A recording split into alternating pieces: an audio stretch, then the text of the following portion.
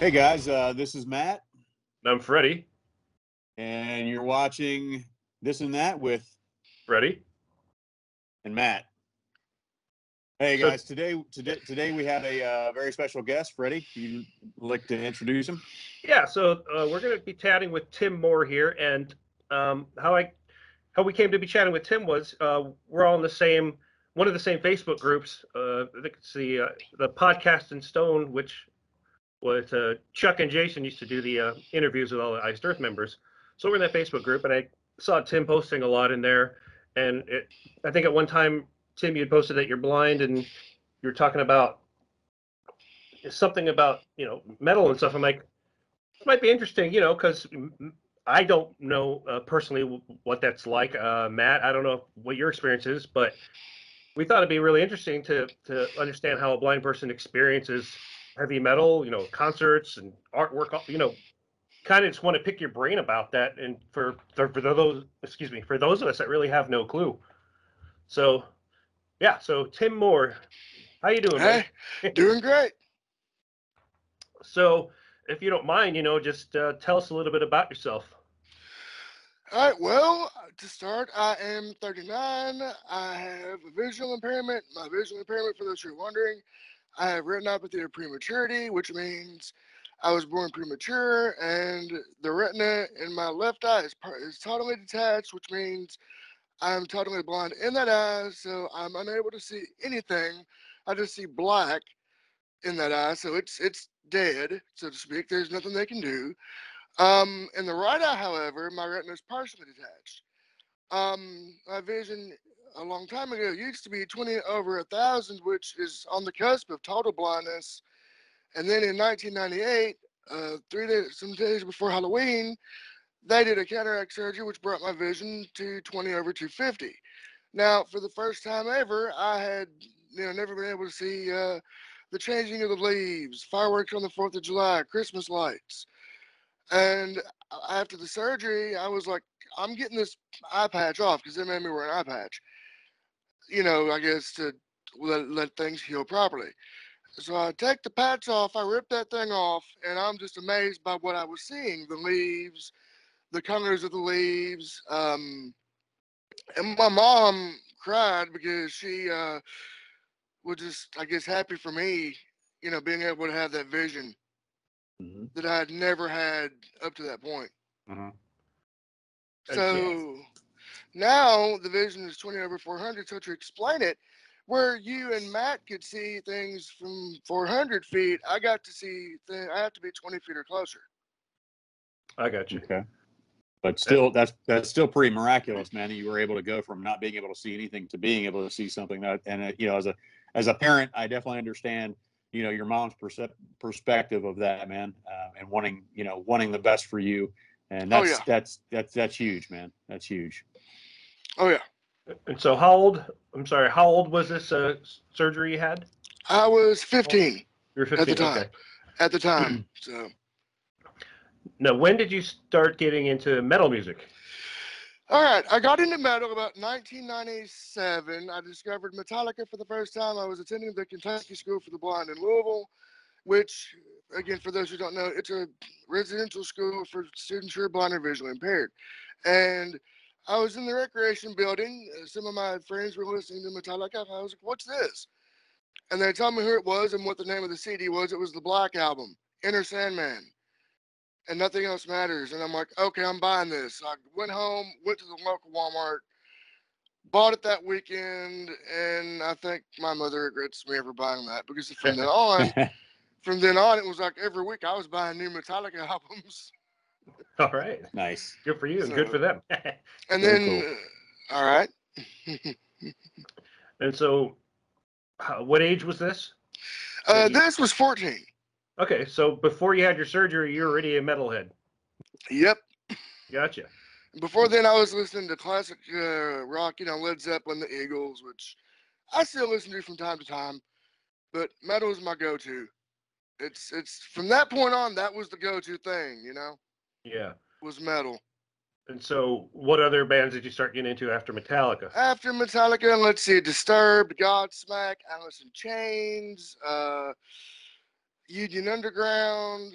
Um, let's see, Deftones, Pantera, um, just a bunch of different stuff. Because I would listen to a radio station called The Fox in Louisville, and that's how I would get a lot of my uh, a lot of my music uh, discovery was through that. And then, but at that time, I'm sure you all remember peer-to-peer CD networks. You know, when you could just download music off the internet for free. We remember, and Lars Ulrich remembers it. Yeah, Yes. well, yep, Yeah. yep. Yeah, so sure. at the time, I was a, a DJ for the school radio station, so I needed music for my show. So I would come home on the weekends and just burn CDs like crazy, and just download all this stuff. I'm like, oh wow! But see, what I would do is if I liked it enough, I would buy the CD itself, legit, That's good. and support the artist. Thank you. Hey, Tim. yeah. Hey, if, if you wouldn't mind, man, could you just, uh, pan your, your, your, uh, camera up just a little bit? Cause we'd like to, we'd like to see you. You perfect. have, you were, you were, it was Alright. kind of going, going into your chest a little bit, so.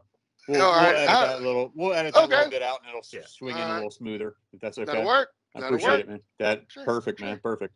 Sure. So,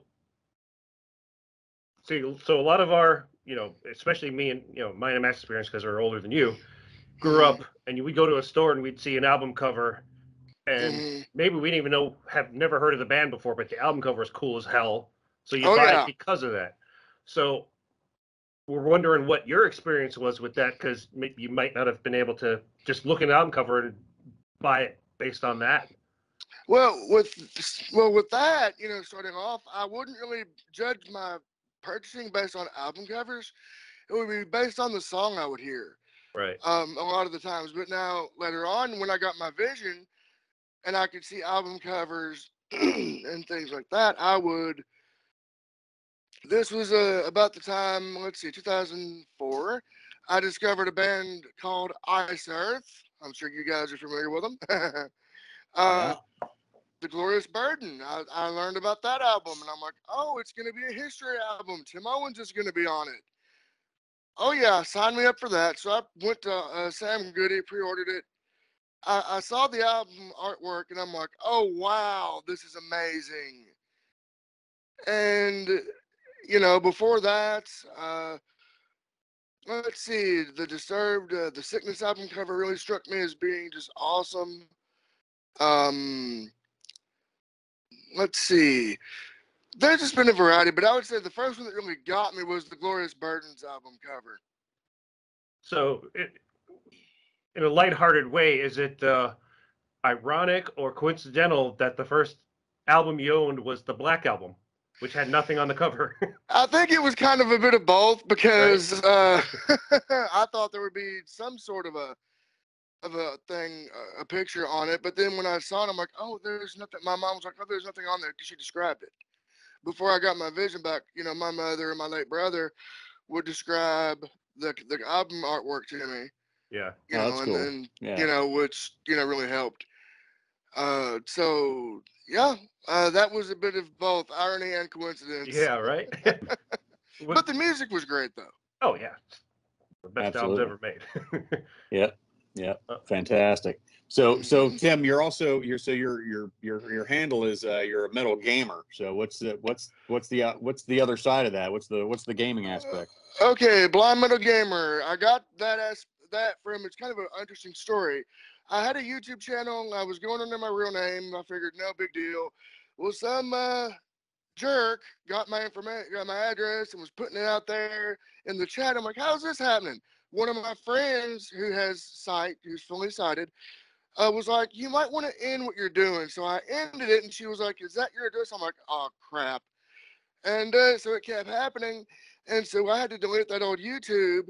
Turns out someone got it. And as I was freaking out in panic mode, getting everything deleted, oh no, uh, my mother walks into the room at 10.30 at night. Did you order a pizza? Nope. And someone delivered a Domino's pizza to my house.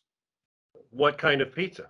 I don't know because Oh. I didn't accept it. You're leaving out the important stuff here, Tim. Hey, But the, the, the driver got cussed out though. oh, no. Poor Yeah. guy. Oh yeah, but you know, I had to make a new channel, so that's the gamer aspect. The blind and metal is explained, but the gamer part, I've been a gamer since I was a child because they used it, the video games, to help with hand-eye coordination. So I uh, did that, and uh, I got the channel made, got everything set up, and everything blocked, so that can't happen again. Um, because God forbid we don't want no more pizzas or SWAT right. teams delivered to the house. Yeah. so SWAT team with pizza. Yeah, maybe. so, uh, the gamer aspect, I've been a gamer since I was a child. Um, at one point, I had every generation of console in my house. Um, I currently own a PS5, and I do stream on Twitch. And uh, I've dabbled a little bit in YouTube streaming once again. I'm going to work on maybe getting back into that with some uh, much needed modifications to get things monitored a little better because their security is not the greatest. Uh, as for my favorite games, I like uh, Mortal Kombat, Resident Evil, um, the wrestling games that come out, um, Castlevania. Uh, let's say just a variety. And here recently, just today, I've got a new game I ordered called Thymesia, which I'm going to be streaming tonight. I had Thymesia once. It, it went away after about two days. No, this is a, a rage-inducing Souls-like role-playing game that if Yeah, it was rage you- inducing. All right. if, if either of you or your kids are gamers, it'll make you want to throw your controller and say things I will not say on this interview.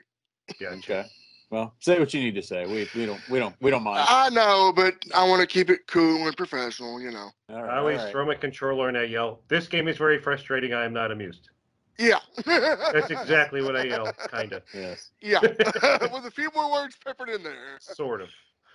Yeah. So so Tim, we were you know we were talking a little bit before the interview and all that, but you know obviously you have anything uh anything to promote um you know anything that any links to anything you know you can give that to us. We'll make sure we put that you know up underneath the uh underneath this this video so that folks can find that. So uh if you do have anything like that, please let us know. And if you have anything special interest groups or anything like that that you'd like to promote right now uh vocally, good. Please Oh by all means. yes. Oh yes. Uh, okay. As for special interest groups, I am and I work for the Commonwealth Council on Developmental Disabilities. I am their front desk manager and note taker, and also I am a stable ambassador for the Stable Kentucky program, which is Kentucky's ABLE program. And I'm an employee, a employment education ambassador, which is um, um, you know educating people on competitive integrated employment for people with disabilities. And for those of you who are unaware, the uh, ABLE, the uh, ABLE Act, the ABLE programs, are special accounts called ABLE accounts for people with disabilities, where people with disabilities such as myself can save up to $100,000 in special accounts called ABLE accounts. And you can spend the money on qualified disability expenses such as medical, dental, um, education, transportation, uh, supports and services, rent, you know, food, things like that. Uh, but you know, here in Kentucky, you can spend your money, your able account on, you know, those things. Plus, if you have um, assistive technology like um, my iPhone, I'm we're recording on now. Uh, I got that through my Stable account, and Stable's a great thing. So if there's any type of information that anyone would want, go to www.ablenrc.org. That's the Able National Resource Center. And this program, the ABLE program, is a state by state thing, so it's varying from each state. So just go there, look up your state's ABLE program, and see if you qualify or if your loved ones qualify. If they do, or if you do, sign up for your ABLE program and get saving today. And it does not, these ABLE accounts do not affect your Medicaid or SSI benefits. So they will not get taken away. Nice. Okay. Yeah. And like, like I said, yeah, we'll put a link below so everybody can see the website and stuff down there. Oh, yeah. And, uh, I, I was listening to Troy's episode and he mentioned his son with autism, and I got a friend with autism. mhm. Um, and uh, so I thought, you know, hmm, I wonder, I thought, I didn't know if, you know, they might know about that. So I figured, you know, I'll use this opportunity to um, spread the word and all that good stuff. And I do support real work for real wages. And I believe that sub minimum wage is something that needs to be a thing of the past and sheltered employment. Um, there needs to be change with that model as well. Gotcha. Very Cool. cool, man. I did have another couple of, if you don't mind. I know Sure. we on this show we just kind of jump all over the place. Like if a thought hey, pops in our head, Ask away. Ask yeah, if a thought pops in our head, we no matter what is. So, do you go to or have you been to concerts? Yes, I have been to two concerts. Uh, the first concert I saw, this was after, um, this was, let's see, the year that I graduated high school, 2002, was Kid Rock and Tenacious D in Louisville, Kentucky. And I went with two, some cousins of mine. We all had a good time. We all went out to eat. And then we all went to the show at Freedom Hall, saw Tenacious D, saw Kid Rock. And then I wanted to get a shirt. You know, this is my first concert. Got to get the t shirt. So I, I wanted to get one that would be safe, you know, for school. I was going to public school at the time. And um, by the way, quick shout out to the Franklin County High School class of uh, 2002. This is our 20 year anniversary. So shout out to you guys in Nice. that. So uh, I get the shirt and I'm thinking, okay, just says Kid Rock.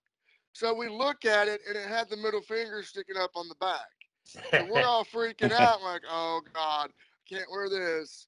So I get home, mom and one of my cousins, you know, they had a few too many adult refreshments, and well, they thought that they were dreaming. So I showed them the shirt again, and my mother was like, "You didn't." She freaked out.